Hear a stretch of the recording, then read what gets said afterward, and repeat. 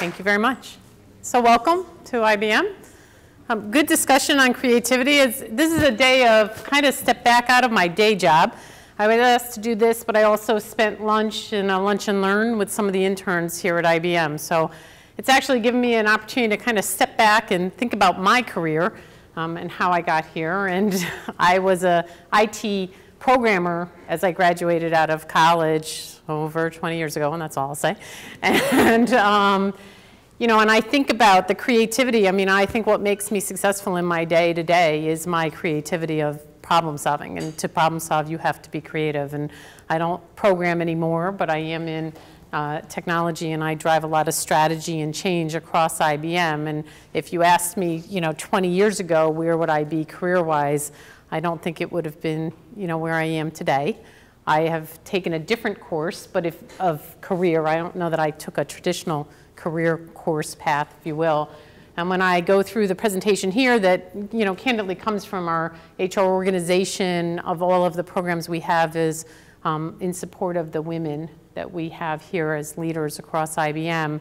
You know, I really have to step back and recognize that I was fortunate enough to find myself in a company that did recognize uh, the need to have a very diverse uh, global set of talent across uh, IBM and has, you know, I'll talk very specifically about the programs we have here for women, but as I thought and talked to the interns about the day-to-day -day of how we manage and help mentor um, people through IBM, the list is extensive on what IBM does and invests in to help nurture people um, and help them achieve their careers in IBM. So I guess uh, I stand here pretty grateful today to be a part of, of a company that does invest in their people. So hopefully I'll share and give you some of that perspective through these presentations.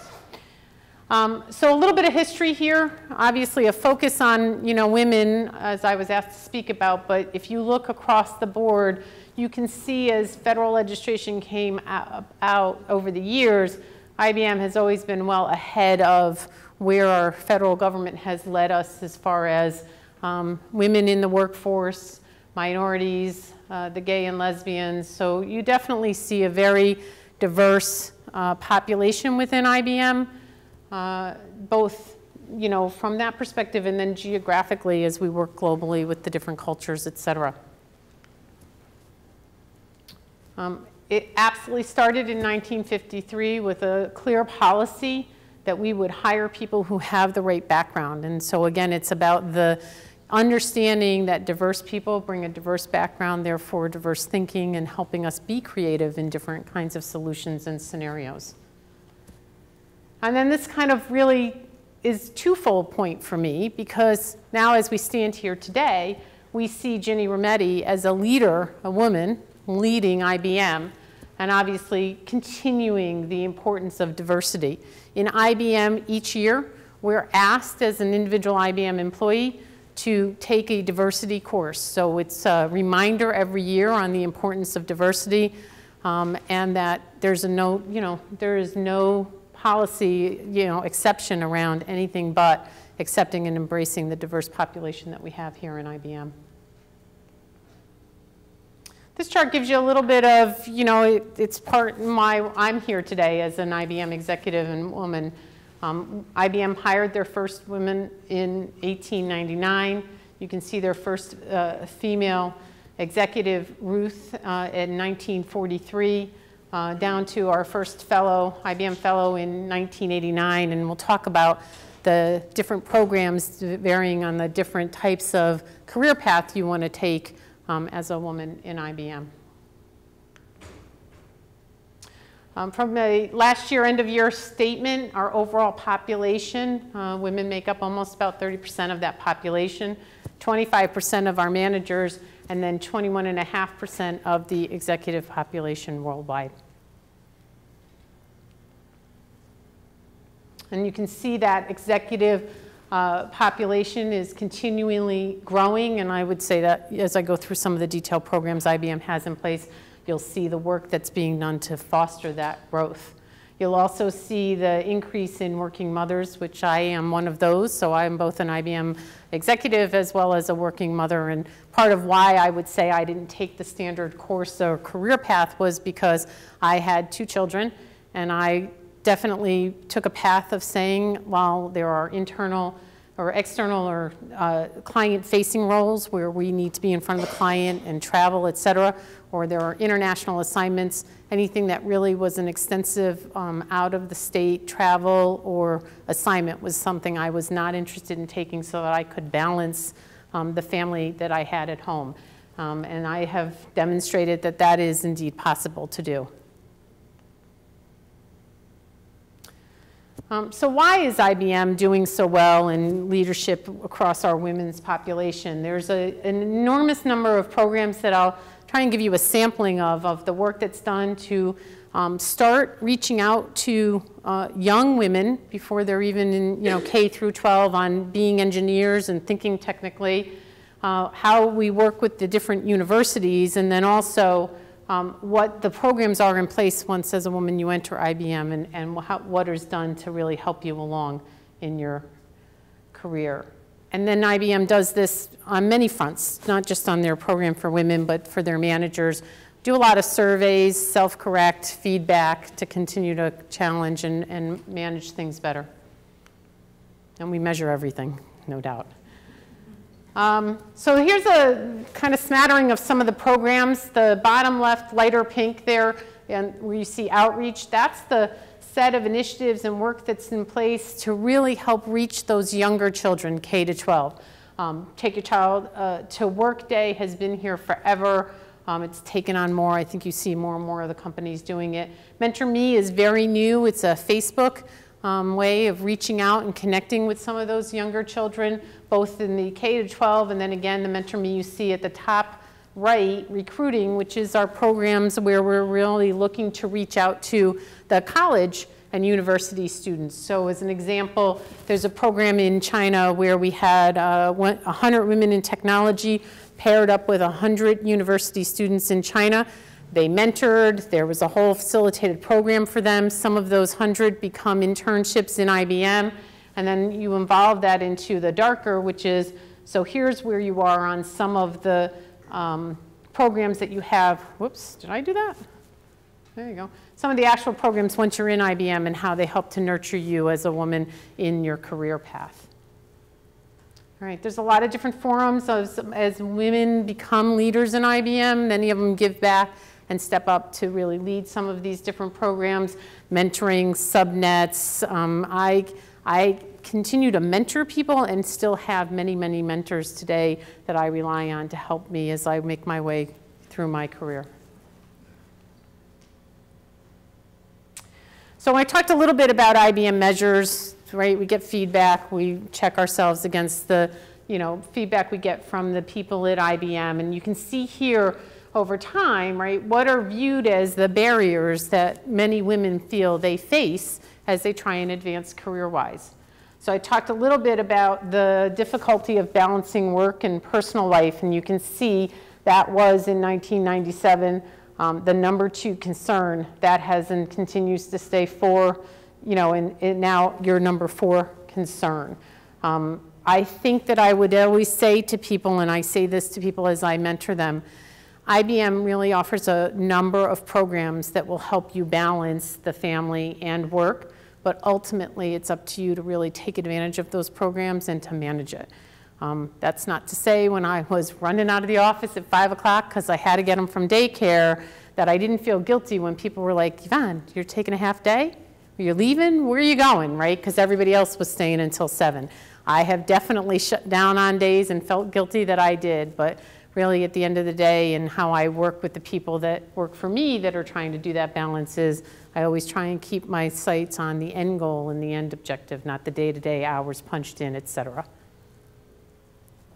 Um, let's see, what was the other? Um, the other one you see is also the men's willingness to take risks with women in job opportunities. That has really lowered as well to the point where it's off the chart. So a lot, again, focus on getting everybody comfortable that women can bring a different talent to the table, they can do the balance of work life, and they can be key contributors.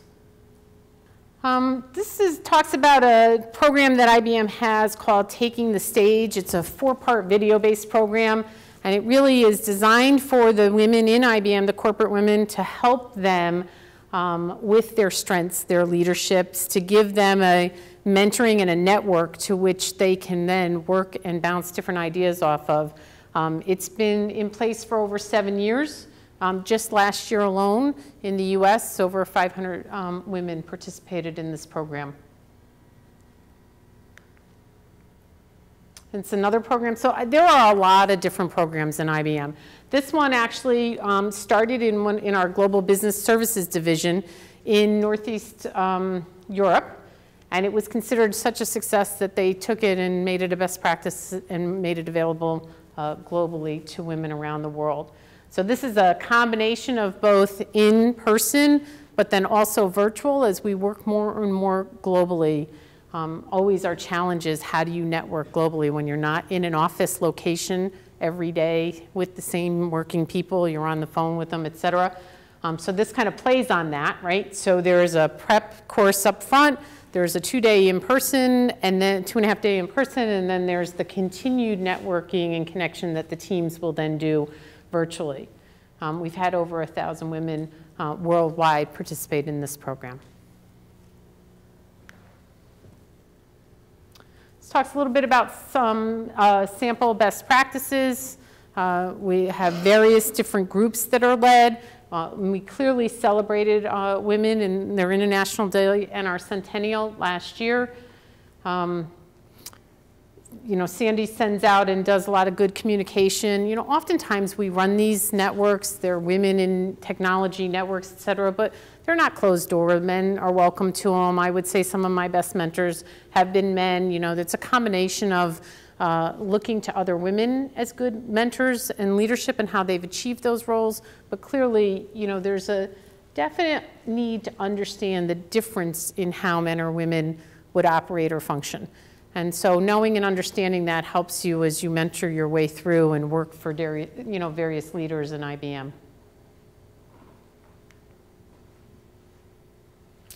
So there, I talked a little bit about the programs they had for the K through 12, the programs we have with the universities, the internal programs we have in IBM, and then this gives you just a sampling of a, a list of organizations that help mentor women today that IBM partners with. Um, the one second to the bottom there, Women's Unlimited, is a program that IBM invested in me and sent me to, I would say probably about 12 years ago. I participated in the lead uh, program. And it probably helped me really understand that everything I learned in school was going to help me do the assignments day to day. But it was really the networking, um, the creativity, the how do I, you know, set my goals and go after it that were more important. If I think back in my career and how I, you know, my education, I was a resident assistant. I did a lot of community work. I have two kids in high school now. You know, community work is definitely a big component. It's not just about going to school. It's about having a job, about doing the community service. I think that's very important because I believe why I'm successful today is really not everything I learned on the books and in class, but the work that I did on projects, the work that I did, you know, those projects are huge as it relates to the dynamics of the team.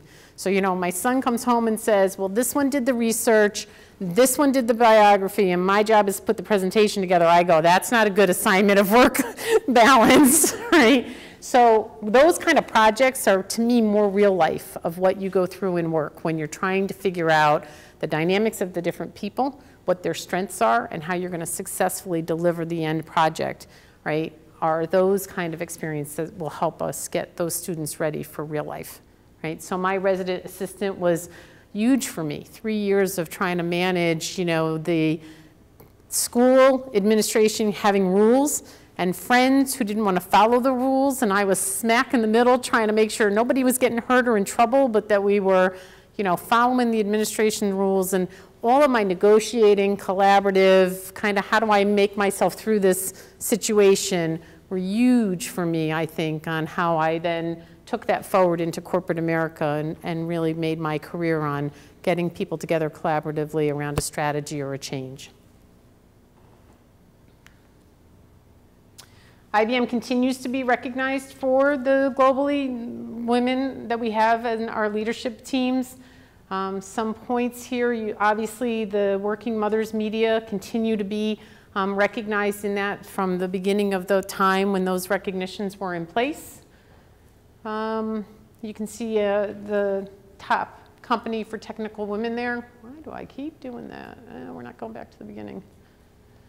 Um, so, you know, obviously there's good media and recognition. Again, I would say, you know, I have peers that would tell you, you know, I don't know, that work-life balance, it's a joke because I'm working 7 to 7 and back on the system at 10, 11 o'clock at night. And I would agree, there are a lot of days that I do that. But on the days when I say I have to go to this baseball game or that, and I carve it out on my calendar and I leave, that's on me to manage. So yeah, I could be working those extensive hours, but if I can work them around and fit in that personal balance, to me that's a win, and you have to manage that. And that's something I've just really had to learn over the years of, you know, my kids getting bigger and me elevating on the pressures of the job. So that's what I had. I, I did want to leave a few minutes for any questions. Um, I wanted to make sure you were getting something out of, you know, I knew the topic I was asked for, but was anything anyone wanted to ask or I didn't talk about?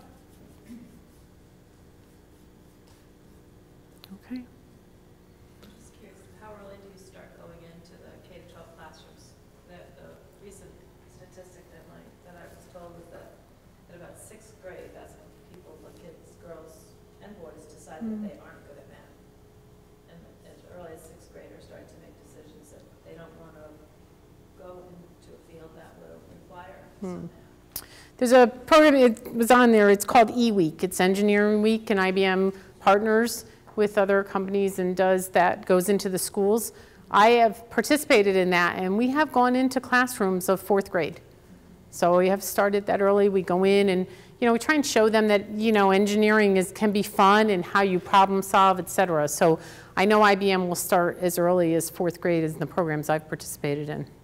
But I mean, I saw that with my daughter. Her math was off the scales, you know, in fourth grade. And by seventh grade, she was like, yeah, I don't do this math thing. And I was like, what are you talking about? right?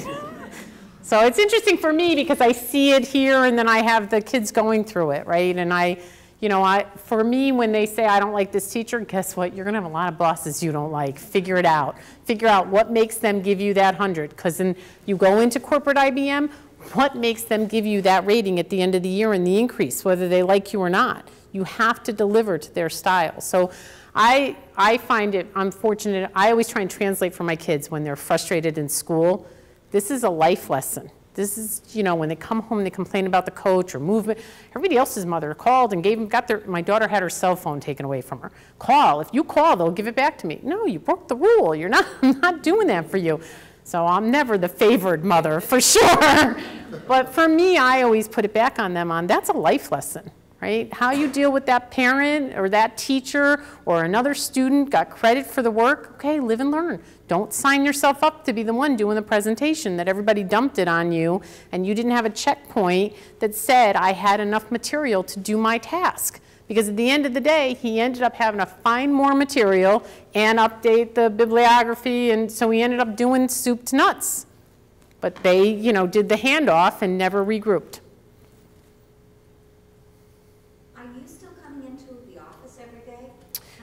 Yeah, I um, probably, I, am, I consider myself very lucky because I probably, I come into the office maybe twice a week. Um, I know some of our employees struggle with the work, the, while they like working remote, on an ongoing basis, it gets tired. There is that need or desire to run into folks. I have a great balance. So I'm here today, I was in Somers yesterday, I'm off tomorrow, but the Monday and Tuesday I worked from home.